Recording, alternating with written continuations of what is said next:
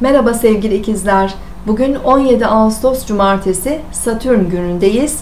Ay Oğlak Burcu'nda ilerliyor. Bugün konsantrasyonunuz biraz dağınık olabilir ve sürekli bir konudan diğerine geçip durabilirsiniz. Düşüncelerinizi belli bir yere odaklamak için kendinizi çok fazla zorlamayın. E, aklınızın daha sakin, dingin olacağı, e, daha iyi konsantre olabileceğiniz bir günü bekleyin.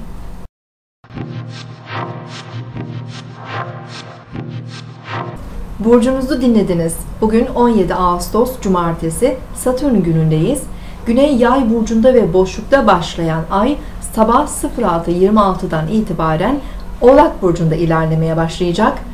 Ay Oğlak burcunda güne daha kararlı, ciddi, çalışkan enerjiler vermeye başlayacak. Son iki gündür Yay burcundaki ay biraz daha eğlenmek e, için e, fırsatlar yaratmıştı. Daha sosyal, aktif e, günler geçirmiştik.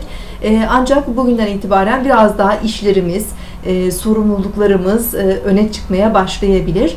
Sabah erken saatlerde Oğlak Burcu'ndaki Ay, Terazi Burcu'ndaki Venüs arasında kare açı etkili olacak. Özellikle sabah erken saatlerde bayanlarla olan ilişkilerimize biraz dikkat etmek gerekiyor. Bunun yanı sıra güzellik, bakım, estetikle ilgili planlarımız varsa, çalışmalar yapmak istiyorsak sabah erken saatlerde çok verimli olmayabilir. Öğleden sonraki saatlere bunları ertelemek daha doğru olacaktır. Öğleden sonra Ay, Neptün ve Satürn'le olumlu açılar yapıyor. Bu da günlük işlerimizde bizi destekleyecektir.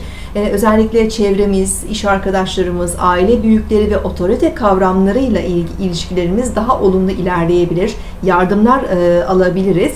Ee, akşam saatlerinde Ay Plüton'la kavuşacak. Ay Plüton kavuşumları duygusal olarak biraz daha hassas hissetmemize neden olabilir. Duygusal ihtiyaçlarımız, güvenlik ihtiyacımız artabilir. Bunun yanı sıra Ay Uranüs'te de kare açı yapacak. Bu da gerginlik ve strese neden olabilir. Jüpiter karşıtlığı da bazı e, duygusal tepkileri abartmaya neden olabilir. E, duygusal gerginlik, huzursuzluk nedeniyle ilişkilerimizde veya e, günlük ilişkilerimizde bazı e, problemler oluşabilir. Özellikle toplumsal olarak da etki alacağımız için toplumsal olaylarda da e, stresli durumlarla karşılaşabiliriz. Tepkiler aşırıya kaçabilir.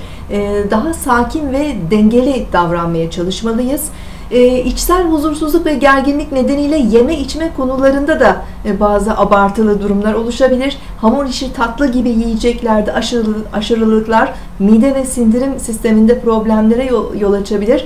E, buna da dikkat etmemiz gerekiyor. Özellikle öncü grup burçlar, e, koç, terazi, oğlak ve yengeç burçları bu etkiyi daha yoğun hissedebilirler. Yarın tekrar görüşmek üzere. Hoşçakalın.